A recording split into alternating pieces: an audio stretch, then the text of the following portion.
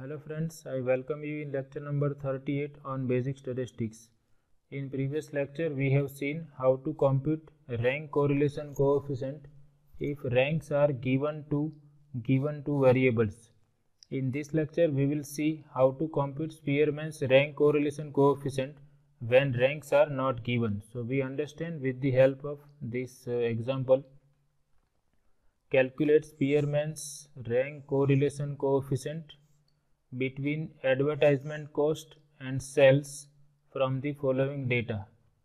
So here we have two attributes advertisement cost which is given in rupees thousands and sales which are given in rupees lakhs and we have to compute rank correlation coefficient between these two variables.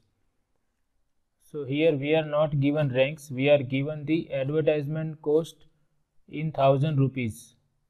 And uh, first we can count the number of items are 1, 2, 3, 4, 5, 6, 7, 8, 9 and 10. So here we have n equal to 10 items. And suppose we denote the advertisement cost by capital X and sales we denote by capital Y then we are given values of x and y we are not given the ranks so first we will assign the ranks to both the variables and then we will compute Spearman's rank correlation coefficient. Now suppose I want to assign ranks to this variable capital X which is advertisement cost in thousand rupees. Then I can assign the ranks in two ways. I can assign the first rank to the highest value of x or I can assign the first rank to the lowest value of x. So we can assign the ranks either in descending or ascending order. But we have to remember that if we are assigning ranks to this variable in descending order, we have to assign the ranks to another variable in descending order. So either we can assign the ranks starting from highest value or we can assign the ranks starting from lowest value. Here we will use the ranks uh, using highest value. So uh, first uh, I have uh, prepared this table. Here I have written the values of x and y and uh, here I have prepared two more columns for rank of x and rank of y.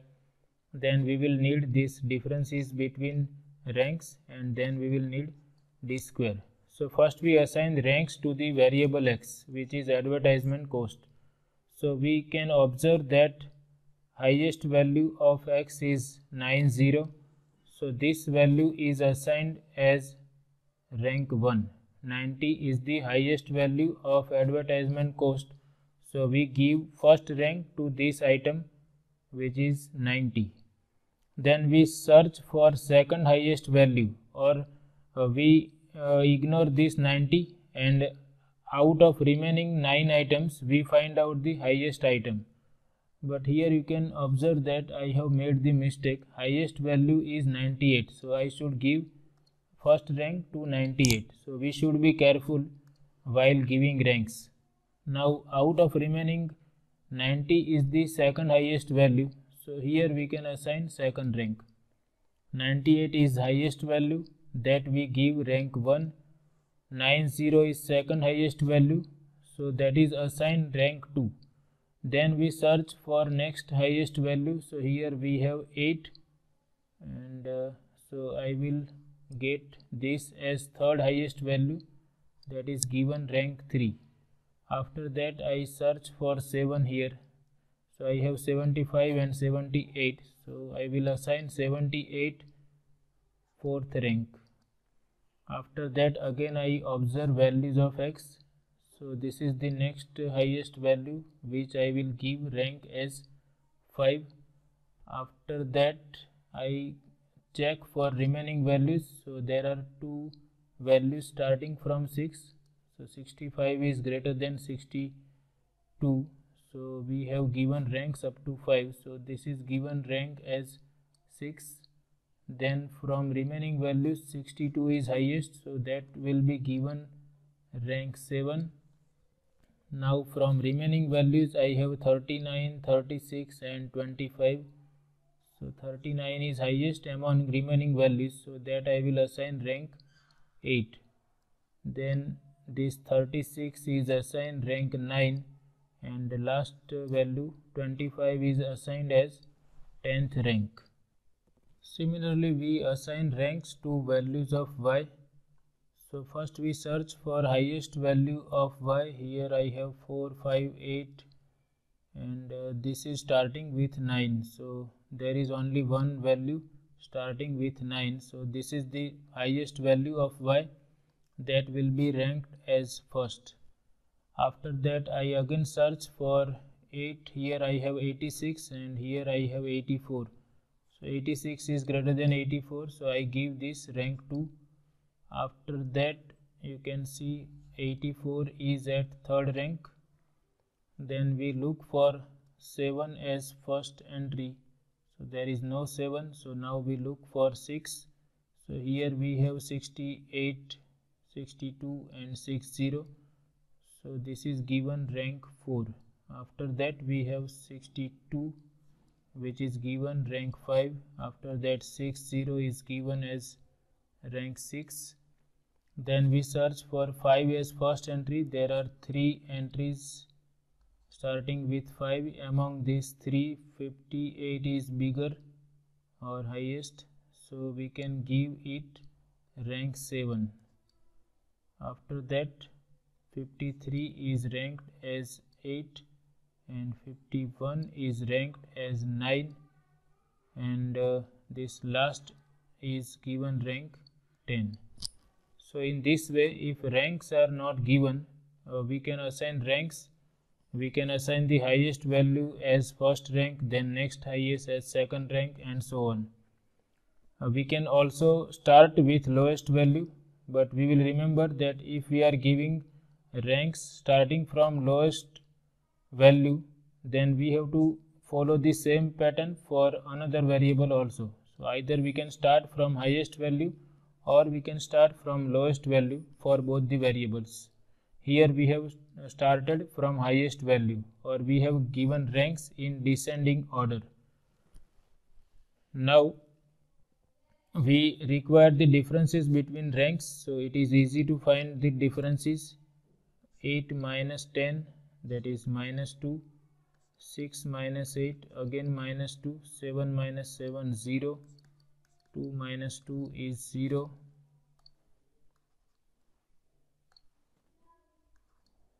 then 3 minus 5 is minus 2 5 minus 4 1 10 minus 6 is 4 1 minus 1 0 9 minus 9 is also 0 and 4 minus 3 is 1 let me write properly here. 1 minus 1 is 0 so we can check whether these values are correct or not. Sum of all these values must be 0 so we can see here we have minus 2 3 times that is minus 6 and we can see if we sum these values positive values 1 plus 4 5 plus 6 so 6 minus 6 that is 0 so sum of all the differences is 0 that means we have correctly find out all these values. Here sigma d is 0 now we require square of all these values. Last column is square of differences. Square of minus 2 is 4 here square of 0 square of minus 2 is 4 and here square of 1 then square of 4 is 16 square of 0 is 0 square of 1 is 1 so we require sum of all these values. Here we have 3 times 4 that is 12 plus 1 13 and uh, we can find out 13 plus 17 so this is going to be 30 so sigma d square is 30 so we require sigma d square. Here ranks were not given. We were given values of variables x and y. So first we have given ranks to the values of x as well as y. Then we find out the differences between ranks. And finally we obtain sigma d square as 30 okay now we have ready-made formula for Spearman's rank correlation coefficient so that we can use here. Okay I have to write here. So now Spearman's rank correlation coefficient. Spearman's rank correlation coefficient is is denoted by r suffix s equal to 1 minus 6 times sigma d square divided by n times n minus 1 and here we have seen that value of n is 10 there are 10 items. So we will take n equal to 10 and sigma d square equal to 30 in this formula. So i substitute sigma d square equal to 30 n is 10 so that n minus 1 will be 9 so we can see here we have 3 and uh, 6 into 3 that is 18 so we can see that Spearman's rank correlation coefficient is minus 1 so in this way we can compute rank correlation coefficient if ranks are not given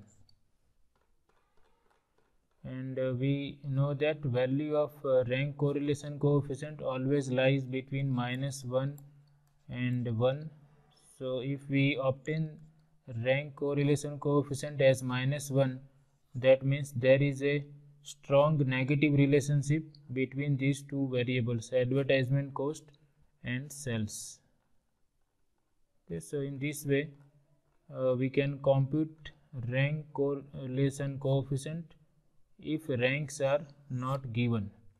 Now in some situations it may happen that some values of x might be repeated or some values of y might be repeated. Suppose we are having 62 two times then we have two repeated items for x. So in that case we have to modify this formula for Spearman's rank correlation coefficient that we will discuss in next lecture so i hope you like this lecture. Thank you